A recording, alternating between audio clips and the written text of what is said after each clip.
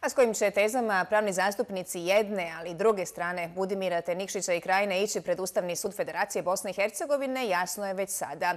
Upravo sinoćnja temi TV1 bila je svojevrsna javna rasprava prije one zvanične pred Ustavnim sudom.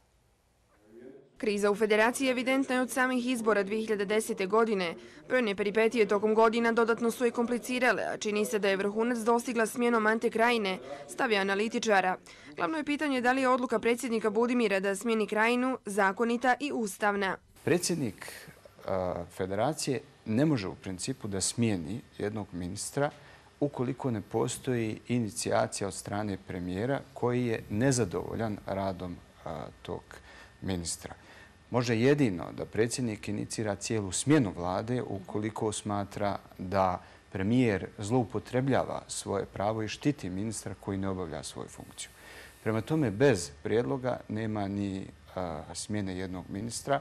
Međutim, prijedlog na koji se Budimir poziva je Nikšićev zahtjev za smjenu osam ministara u vladi, ali uz navedene sasvim druge razloge od onih pomenutih u odluci o smjeni krajine. Sadržina obrazloženja tog prijedloga je in tempore u tom momentu razlog zbog koga se traži smjena.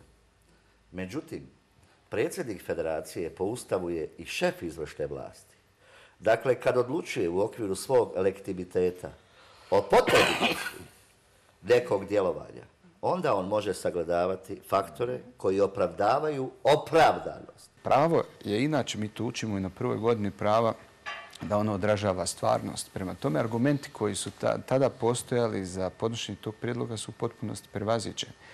A druga stvar, kad uporedite preskonferenciju predsjednika federacije i argumente koje je dao predsjednik vlade, onda vidite da ne postoji nikakva podudarnost tih argumenta. Ademović tvrdi da se radi o klasičnoj zloupotrebi. To znači da je predsjednik apsolutno vođen svojim motivima obračunao se sa jednim od osam ministara koje je izvukao iz političko-ustavno-pravnog konteksta prije 13 mjeseci i iskoristio formalno taj dokument koji je, po mojom mišljenju, i formalno i faktički prevaziđen. Što Ustav kaže?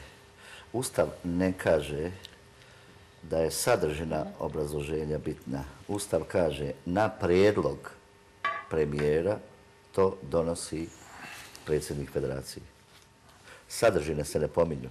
Zaboravlja se da je predsjednik vlade imao rok od godinu dana argumentumom a contrario da taj svog predlog povuče.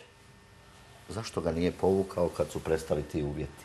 Argumenti sa kojima će jedna i druga strana pred Ustavni sud vrlo su jasni, a konačnu odluku će donijeti Ustavni sud Federacije nakon javne rasprave. Međutim, već narednih dana na sjednici bi se moglo razmatrati donošenje privremene mjere koja bi omogućila vršenje dužnosti ministra financija, odnosno normalno funkcioniranje Federacije.